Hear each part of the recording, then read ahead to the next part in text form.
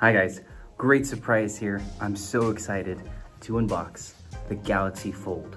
All drama aside, I think you should reward companies who try something new. And I haven't been this excited for a product since the HP touchpad or the first touch devices. This is a new form factor, touchscreen, the portability of a phone, and a tablet in your pocket. So let's get right to unboxing this and setting this up. All right, look at this Galaxy folding on itself. Couldn't be any more literal. Heard it comes with the Galaxy Buds right here, bites. All right, so let's jump into this. Cut that out.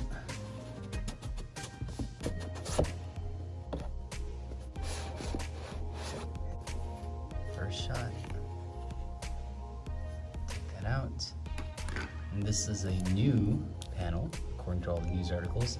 Care instruction. Do not press on the screen with a hard or sharp object. When folding the device, do not place any objects such as cards, coins, keys on the screen. The device is not water or dust resistant.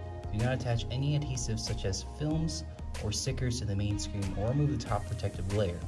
And your device contains magnets, so keep a safe distance. Alright, and let's take this out for my first time. Ta-da! Now I've noticed that the case isn't already installed on this. I thought it was. We got the black version over here. Okay. Put this aside. And fold your future. Fold Premier Service. This is Fold Concierge. 24 hours a day. One year screen replacement for the lovely price of $149. that looks like a charging port over there. Let's get started. It has a wireless power share, just like the Note 10 and the S10 Plus. Terms, conditions, eh, never read that. And the case. So we'll put on this case later after we set this up. Okay, so open up and you get a little eject tool. So holding held together. This is for one side, that's for the other. I'm gonna put these on ASAP, let me play with it. Full story, my car got broken into and someone stole my white Galaxy Buds, right? USB-C, are these tips?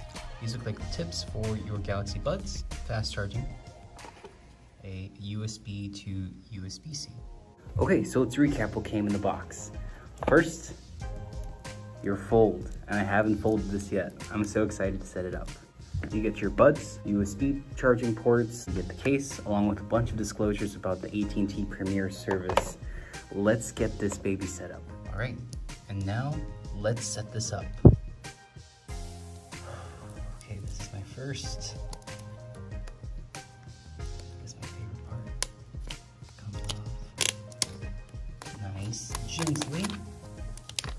And there you go. And there you have it. My first Galaxy Fold. Isn't she a beauty? Let's fold her in half the first time. The first crease. And beautiful. Wow. I think we should set this up with it open. And that's a very tough spring. This crease, you're gonna have to live with it. That's just the way it is with this new tech. Galaxy Fold. I think it will, the crease looks worse in lighting.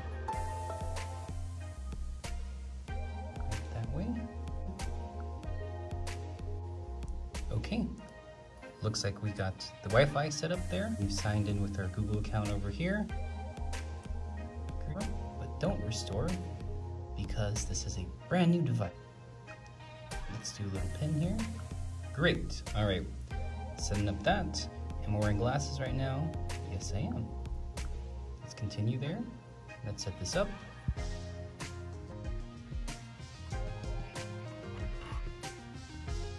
Point, guys. They probably have all my information already. Skip that for now. Great. Welcome to your Galaxy Fold. Let's check out its unique features. Start small, go big. Magnets. Okay. And finally, finally, guys, we're in. Alright guys, so as we set up the phone more, let's do a walkthrough. This is the Galaxy Fold. Now let's look at the bottom. Beautiful animation there. You have the USB-C port right on the bottom. It almost looks like a Galaxy S10. Um, two of them together. You see that hinge, a little protective um, T plastic piece they put there to stop people from peeling off the protector on the screen. Some speaker grills. Let's go on this side over here. This is your um, SIM card. Another grill for speakers on this side. Okay, that's your microphone. And on this side you have the volume rocker and you have just a little divot here. Divot, I don't think actually is a button. It doesn't do anything. All right, and you have your power button here. Notice there's no Bixby. Now let's flip over. A little bit of fingerprint magnet, but uh, you see the camera grills, so you have your telephoto, regular camera, and your wide angle lens. And let's close this and kind of see together. Right, and just like that, you have your front camera. Now, as I've seen in other reviews, it doesn't really do it justice um, to double tap open the screen to see the quality of the screen. It's a very workable screen. It looks like a mini uh, Samsung Galaxy device. So I'm pretty stoked about it because you still have access to all the powerful cameras on the back. So I can take a quick photo over here. Love the ultra wide lens. Snap that. We'll have to do a little iPhone photo later, but you have all the sub menus. You have the full phone on here. So um, we can shoot a quick text if we wanted to. And you have the swipe keyboard as usual, so hello. This keyboard on the front screen is great. Very workable. Worthwhile, that note. Let's go back home. So that's the front screen. I think that if I'm one-handed, I'm surprised it's even thinner. We have the, the iPhone Pro over here, and even one-handed, it's pretty wide. You haven't had something this thin since the iPhone 5, and I'm gonna like this because I can finally text and I can reach all the way in the corners again. Okay, so now that we have all the outsides, let's don the case while we're at it. All this while it's open. If I'm Samsung, these just snap on just easily like that. There you go and this side here, it's a fingerprint magnet. Sorry about that. What can you do? Oh, I noticed there's some plastic sticky pieces here. I don't want it permanent, so I'm just gonna put it haphazardly, just for show right now, folks. So there you go, and you get this nice little fold mechanism. All right, so that's the front screen. Does the front screen work while you have it open? Looks like it's completely disabled, okay? Okay, let's flip it over. Adding this case, it's a very nice texture. It's included in the box, so I don't have to worry about buying a case, and you're not supposed to put a screen protector. So I'm ready to go with this device.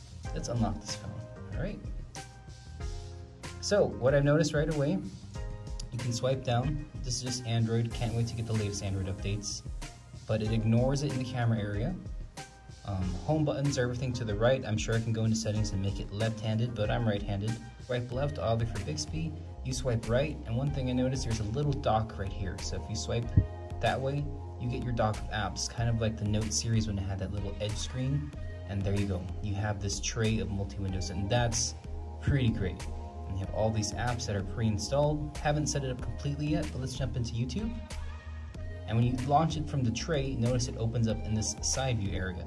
So you have split screens, finally, but if I rotate it, will auto-rotate, and there you go. So you notice that for the fold, it unfolds this way, kind of portrait mode, but since you have it fully tablet mode, I'm gonna find myself using it this way a lot, um, the landscape mode. So let's go into the full YouTube app. All right, see that again. Full YouTube app there, great. Videos here, this is our little ultra wide photo shoot. Great. I like watching videos this way. some surprising results on which one is more immersive in its wide angle features. And lastly, we'll do a photo shoot, just general photos See how loud volume goes? See which one comes out in terms of sharpness and clarity, That's and adding some light commentary. nice. So let's jump right how dark it was. We were in a pitch black basement. So All let's right. see this footage. So let's get out of the hair. Now you notice you can full screen videos here. All right, and it'll auto rotate this way. And if I minimize it, it's gonna have this UI. Now they talked about continuity, so let's go into continuity mode. So that means some apps that I launch here should be able to be opened up and used. What was? Okay, not now. Play that. That is a terrible way to watch a video. Oh wow, this looks like. Alright, so terrible way to watch While you're at it, So small. Bright colors Okay. and sharpness, the camera improvements Now, let's full screen Apple this. made, and we're gonna compare them later to Full screen on the mini screen in standard front. Shots. That's But hilarious. for now, All right, let's go back here. What the standard shot It says you can pinch out to zoom it. landscapes that And you let's, see. let's do that one more time. the clarity that you gain. There you go. Now it's zoomed in, right? No. One thing I Alright. So let's open this. S10 is we have to compare it Beautiful. and kind of see where the Continuity. Google worked with and kind of the Samsung to get this right. Alright, same thing. And you have But for that now, those panorama I'm gonna features ignore this. I'm used to really not challenged it's not gonna now that you have bother me. authentic Um, and we'll do an iPhone Pro so happy um, 11 Pro comparison to the Galaxy Fold. Let's find another one. I think uh, I trust Google native apps. Uh, we'll see if other uh, um, developers start to support this. Let's say I want to go to Krispy Kreme because it's coffee day. Great, there's a Krispy Kreme near here.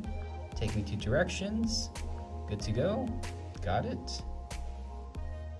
All right, now I'm driving, boom, boom, and now I want to open this up. And voila, continuity, just like that. That's an amazing feature. I love it a lot. Um, all the multitasking features, as you guys are familiar with, probably with the Note series, they all exist here.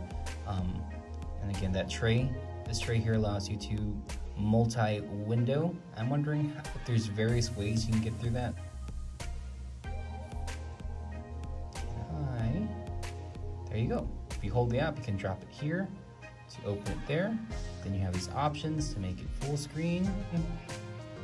Or it looks like you have that one there, and it, I'll open this, and I can make a little window in window, have my multiple apps there, and let's say open Google Maps at the same time. Now you have two windows on top of another, and it was not that useful on smaller phones, but for this phone it is. And again, I always am finding myself using this phone in landscape mode where I'm folding it this way. I have to get a little more used to this, guys, because it's not like Windows where you can like snap it yet. Um, but for those who are more familiar with larger screens are actually using this, because even when I had Android, I didn't use it too much, to be honest, this double screen. Um, it'd be pretty useful. Now, I need to set this up more. Let's get this out of here. Boom, bye. I'm pretty sure you can change the keyboard if you'd like, but this is a very comfortable typing style. This is a great typing experience. Awesome. But can I swipe from here? Can. Yes, you can. Now at this point, it's not that useful because it's too big. I can't do it. Can I swipe from this keyboard? At that point, I'm not getting it 100% correct. It's pretty far. There's no stylus support. This is a very sensitive screen, as you know. Um, but I'm pretty sure I can still draw freely, just like that. Again, no sharp objects on this. I'm going to be very cautious. So, I think that about wraps it up. All right, so there you have it. The Galaxy Fold unboxing, setup, and initial walkthrough. Um, first impressions. Man, this thing's pretty cool. It has a lot of potential. We're gonna have to compare it to the iPhone Pro Max um, camera comparison in later videos and look forward in a few days for the full review on this. Again, I'm so excited uh, to have this. Um, I think I'm gonna leave it open because I don't wanna have the crease. Um, and I know as a first adopter that you have to be very cautious with these types of devices. So um, I'm gonna be gentle with it. I know it's a premium device. Uh, I'm just very proud that Samsung is bringing this technology to the market and we'll see what competitors follow. All right guys, so that's our first impressions. Like and subscribe if you wanna support the channel. Thank you so much and we'll give you more tech reviews shortly. All right, have a great day everyone.